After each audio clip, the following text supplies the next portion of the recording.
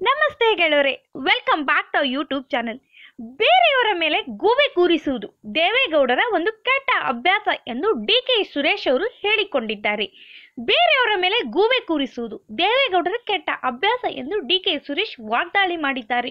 ಈ ಸಂಬಂಧ ಮಾತನಾಡಿದ ಅವರು, ಕುಮಾರಸ್ವಾಮಿ ಮತ್ತು ದೇವೇಗೌಡರ ಕುಟುಂಬದ ಬೇರೆ ಸದಸ್ಯರ ದೃಷ್ಟಿಕೋನಗಳು ಭಿನ್ನವಾಗಿರುತ್ತವೆ ಎಂದು ಡಿ ಕೆ ಸುರೇಶ್ ಅವರು ಹೇಳಿಕೊಂಡಿದ್ದಾರೆ. ತಾವು ಕಟಕಟೆಯಲ್ಲಿ ನಿಲ್ಲಬೇಕಾದ ಬಂದ ಸಂದರ್ಭಗಳಲ್ಲೆಲ್ಲ ಬೇರೆಯವರನ್ನು ದೋಷಿಯ ಸ್ಥಾನದಲ್ಲಿ ನಿಲ್ಲಿಸುವುದು ಎಚ್ ಡಿ ಕೆ ಮತ್ತು ದೇವೇಗೌಡರ ಅಭ್ಯಾಸವಾಗಿದೆ. ಅವರ ಮೇಲೆ ಗೂಬೆ ಕೂರಿಸುವುದು ಆ ಕುಟುಂಬಕ್ಕೆ ಅಭ್ಯಾಸವಾಗಿ ಬಿಟ್ಟಿದೆ ಎಂದು ಸುರೇಶ್ ಹೇಳಿದರು.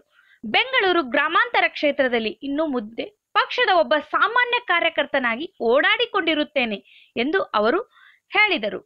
ಇನ್ನು ನೀವ್ಯಾರು ಸೂರಜ್ ಬಗ್ಗೆ ಮಾತನಾಡಬೇಡಿ. ನಾನು ಮಾತನಾಡಿದರೆ ತಪ್ಪಾಗುತ್ತದೆ. ಆದರೆ ಜನ ಎಲ್ಲವನ್ನು ಗಮನಿಸುತ್ತಾರೆ ಮತ್ತು ಅವರೇ ಸೂಕ್ತವಾದ ನಿರ್ಣಯ ತೆಗೆದುಕೊಳ್ಳುತ್ತಾರೆ ಎಂದು ಡಿ ಕೆ ಸುರೇಶ್ ಅವರು ಹೇಳಿದ್ದಾರೆ. ಅವರೇ ಅಂದ್ರೆ ಜನಗಳೇ ಸೂಕ್ತವಾದ ಒಂದು ನಿರ್ಣಯ ತೆಗೆದುಕೊಳ್ಳುತ್ತಾರೆ ಎಂದು ಡಿ ಕೆ ಸುರೇಶ್ ಅವರು ಸಮರ್ಥನೆ ಮಾಡಿದ್ದಾರೆ. ಧನ್ಯವಾದಗಳು.